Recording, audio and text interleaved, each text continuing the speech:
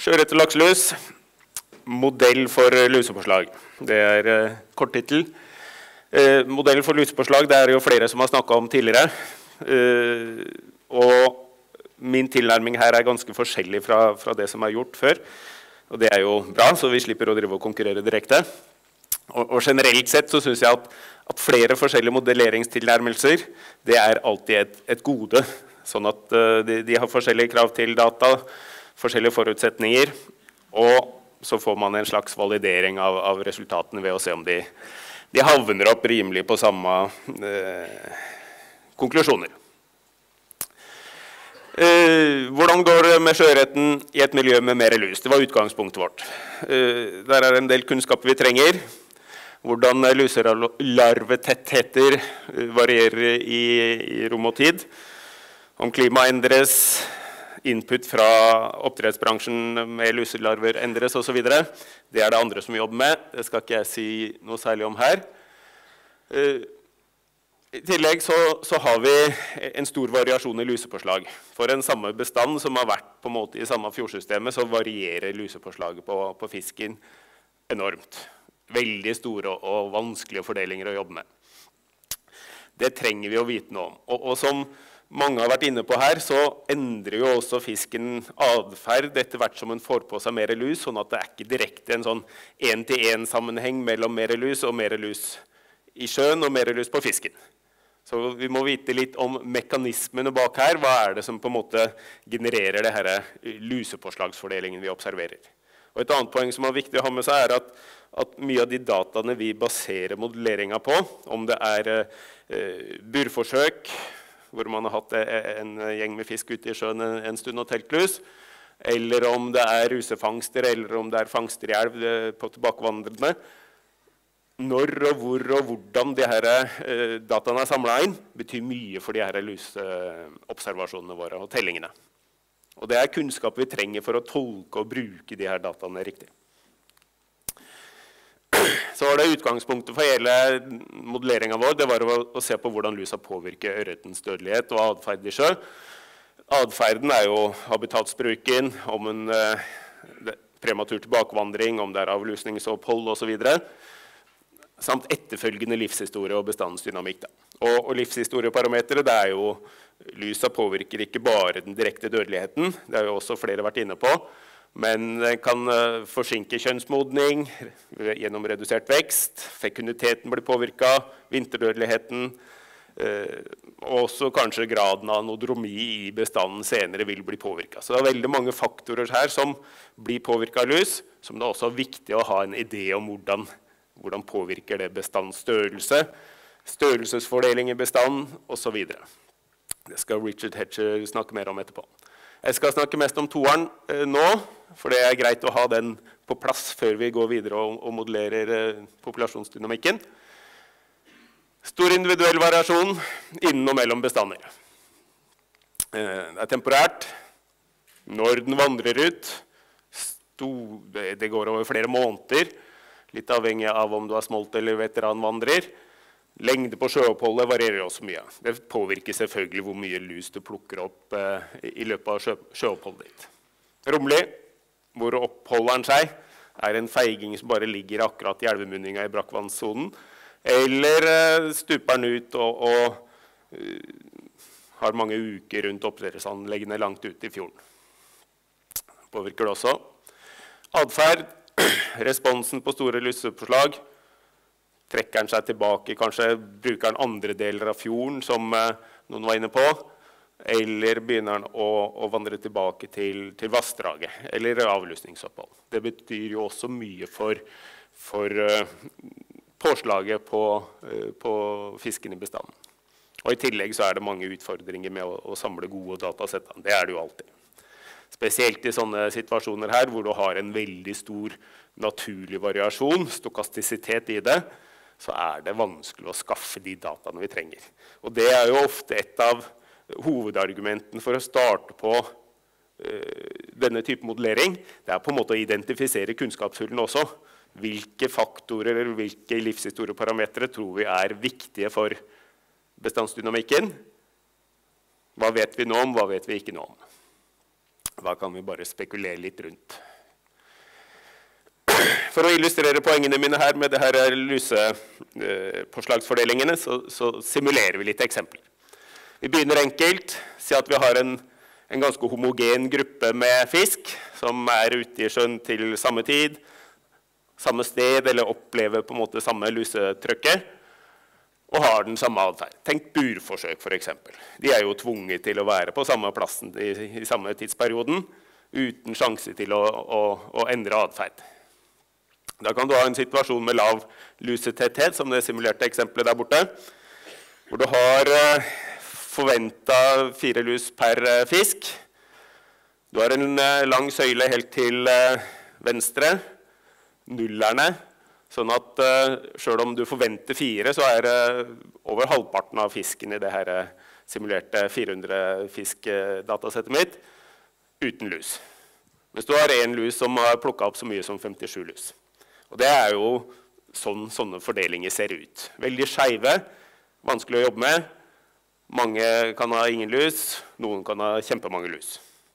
Og et poeng som er litt viktig å, å, huske på da, er at vi ofte jobber med gjennomsnitt. Vi sier gjennomsnittlig antall lus per fisk. Når du har så skeive fordelinger, så, så, er det fort gjort å bli litt lurt av det. Det er kanskje ikke gjennomsnittet vi er interessert i. Det kan være den høyrehalen på fordelingen vår. De som har plukka opp over et visst antall fisk. Sånn at det er litt viktig å jobbe med hele fordelingen, ikke bare se seg blind på gjennomsnittene. Det kan være en lav lusetetthetssituasjon.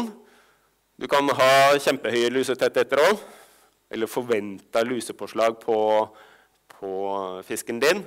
Her er forventninga 138. Dette er simulert ut fra noen sånne nøkkeltall i noen tabeller jeg fant i en publikasjon fra Kalle. Her har vi prevalens på nesten 100% dvs. Si alle har fått på seg lus. Noen har over 600 lus også på, i løpet av en tidsperiode. Og sånn kan det se ut. Hvis vi går videre, så tenker vi oss at okay, eh, lusetettheten eller lusetrykket varierer i tid.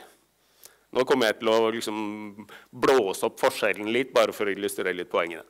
Første uka kan være som det lavtetthetseksempelet i stad. Lite lus.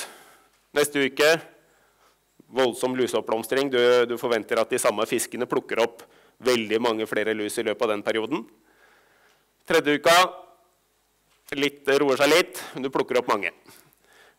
Her kan du på en måte bare legge sammen de her tre og si at ok, her har du vært i, i, i samme sjøen i, i en treukersperiode. Sånn at det å, å bare uh, se på forskjellige tidsperioder er ikke noe sånn problem statistisk sett. Det er bare å legge sammen fordelingene, så har du på en måte en, en fe, pen fordeling fortsatt. Rød der er bare den jeg har simulert fra. Den blå er på en måte den beste tilpassa. Så det her er uh, eksempler for uh, det høytetthetssituasjonen uh, jeg hadde i stad. Den kan vi tenke oss. Du har, du har vært der lenger, du har plukka opp mer, akkumulert mer lus over en gitt tidsperiode. Fortsatt ganske enkelt å jobbe med. Problemet blir jo at uh, all fisken vandrer ikke ut i samme tid.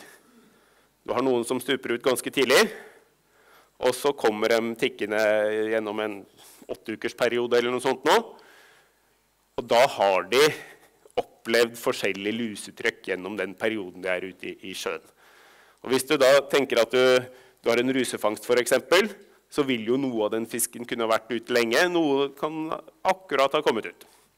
Hvordan ser vi det i den fordelingen? Hva slags fordeling eller hvordan signatur eh, vil det gi en fordeling? Så vi kan si at vi har eh, noen som har vært ute i tre uker. Forventninger 100 første uka, 50 andre, 10 tredje. Da får vi den borterste venstre der. En gruppe kom ut litt seinere, var ute i uke to og tre. Og du har noen som kom ut i uke tre og var heldige med at da var det egentlig ganske lite lus i systemet. Du har en sånn venstre-skeiv uh, fordeling. Når du sampler ute i sjøen, så får du da en blanding av det her.